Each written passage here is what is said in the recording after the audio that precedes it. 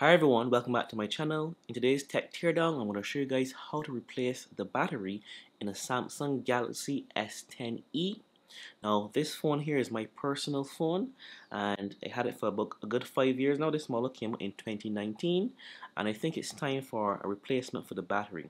Now you can always tell that your phone needs a replacement battery if you begin to see some bulging on the sides of the phone or if the phone is tends to be overheating or it's not holding the charge that it used to when you first bought it.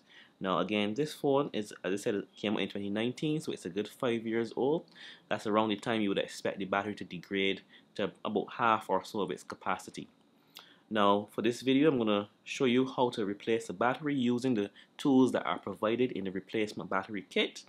Now the toolkit I'm referring to is this kit right here that I got from Amazon. It has replacement battery as well as all the tools necessary to do the replacement yourself. Now since this one is my personal phone, I'm going to make sure I take all the necessary precautions when installing this battery. But you know, this tutorial is for persons who are nervous about replacing their phone parts at home. And hopefully this tutorial will make you feel at ease at doing it yourself without having to spend a ton of money going to a repair person. Now the first thing of course to do is to turn off the phone. You can't replace the battery if the phone is on.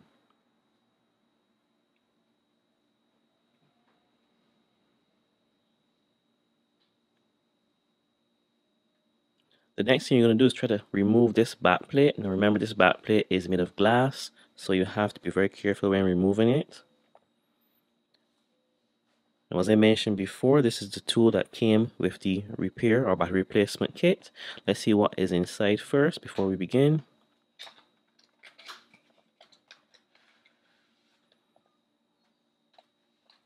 Here you can see we have our replacement battery as well as a nice simple instruction manual if you ever lost or need assistance in terms of how and what to do.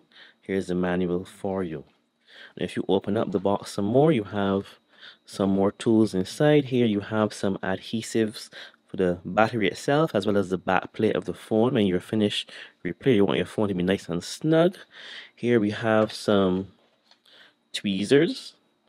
We use these probably to remove some components or maybe the adhesive inside the phone.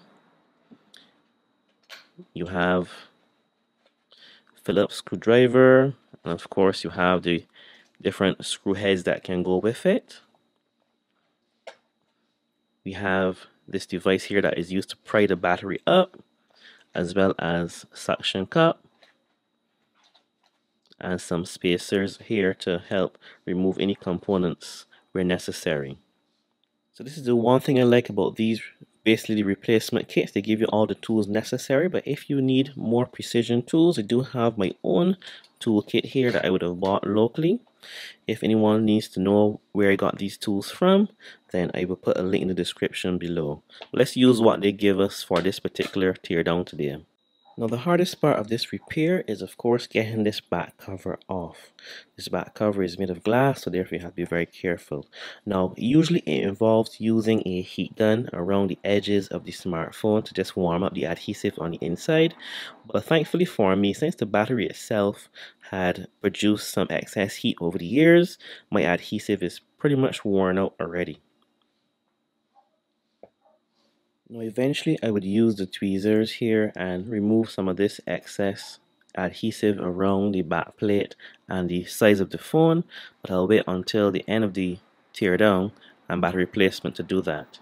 The next thing we're going to do is we're going to have to remove this cover here. This cover houses the rechargeable coil as well as the battery itself underneath. But we have to remove these screws here around the smartphone in order to get it off.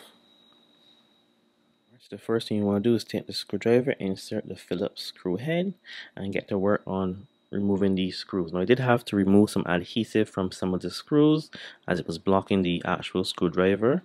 So let's go.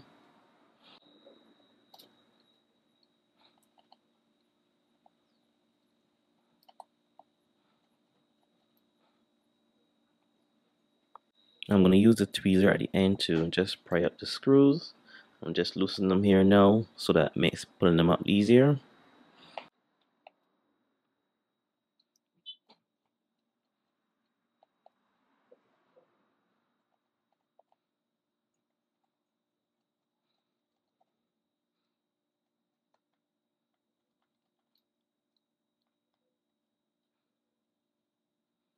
Alright, so that should be all of the screws. Take your tweezers now and just take out the ones that can come out. And I'll do this part off camera.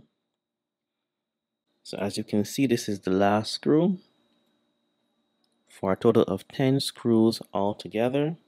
And just zoom out so you guys can see all 10 screws here. Now next thing to do is remove this protective back cover that houses the wireless charging coil as well as the battery underneath. Now that all the screws have been removed, it just has some mild adhesive that you just have to work work your way around slowly, but it should come up in no time. Now one thing I want to mention is that you should have a heat gun on standby when doing these teardowns but unfortunately I don't have a heat gun nor a blow dryer at hand right now so I have to do it with the grace that I have right now because I don't have any heat gun or blow dryer that I can use to free up the adhesive. So I just have to do it very carefully. Thankfully this phone is an old phone so most of the adhesive is not as strong anymore. But if you are going to invest or do this as a hobby or uh, living, you should have all the necessary tools. A heat gun is definitely something you should invest in if you're going to do this for a living.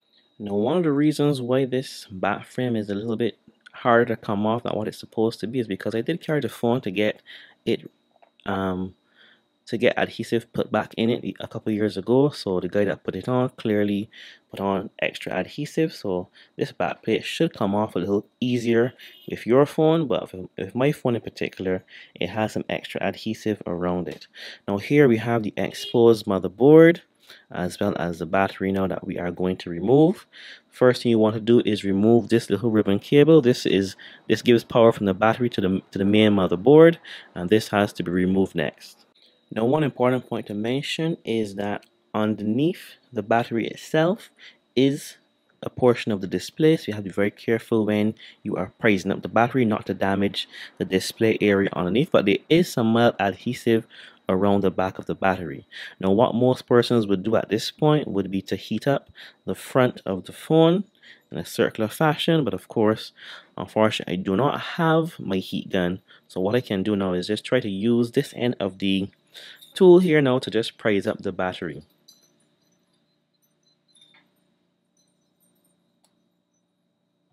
Now I did have to go and dig deep to find this oil hair dryer somewhere in storage.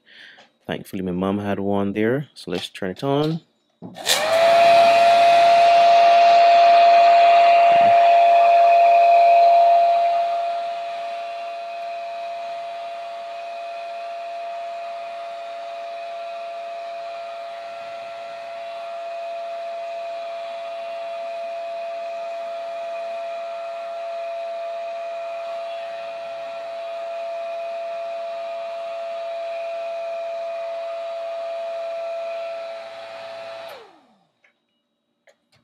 Alright, so let's try prising up the battery once more.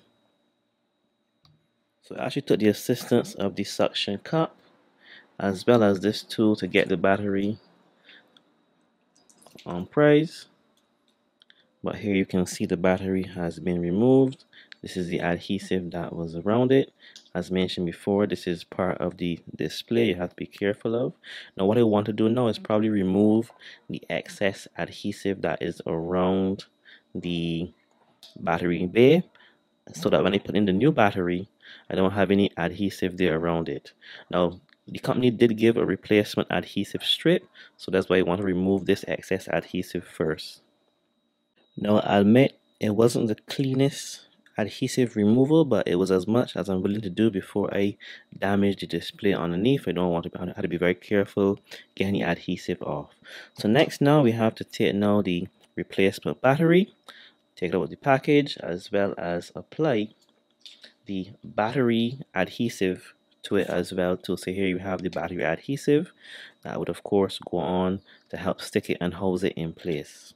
Now the adhesive is stuck to the back of the battery. All that's left now is to place the battery back in the housing make sure it's nice and snug. And finally we're going to connect the connector just to make sure that everything is working. So let me just get this tool once again and gently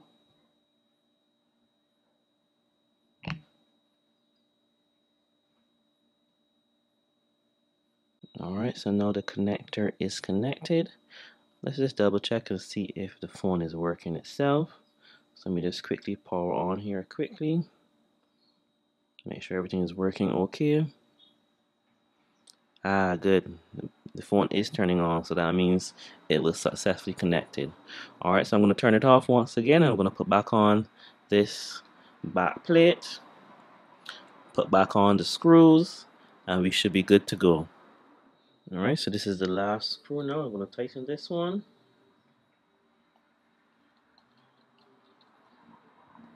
And that should do it. All that's left now is to put back on the back cover. I didn't bother to put on the adhesive at this time. If I need to, I could always go back and do it. There's still plenty of adhesive around here. It may not be tight, but with the case I have, at least the phone should be nice and secure. Let's put back on the back cover now. Make sure it is on properly.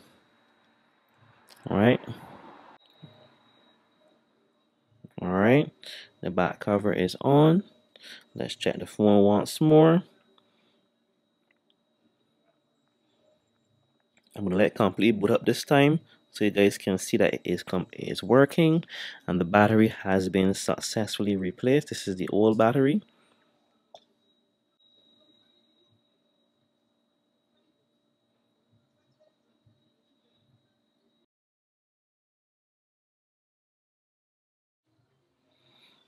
And there you can see the phone is successfully booted. Alright, so the battery is working. Right now it's showing 56%. Of course, I've got to give it a charge and see how it actually lasts over time. But here you have it.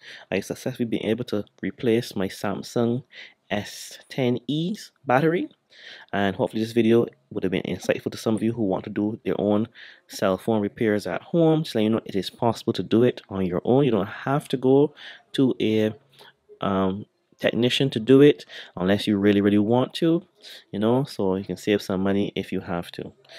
All right thank you guys for watching. See you in the next video